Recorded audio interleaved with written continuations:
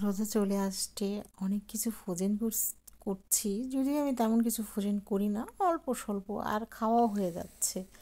মেহমান আসছে, আজ আমার বাগানটা ঘুরিয়ে দেখাবো, কারণ রোজার মধ্যে অতটা ছাদে ওঠা সম্ভব না তাই সম্পূর্ণটা ঘুরিয়ে আজ দেখাবো বাগানে।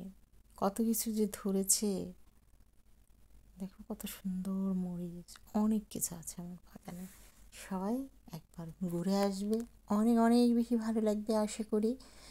আসসালামু আলাইকুম। আল্লাহ হাফিজ আল্লাহ হাফিজ।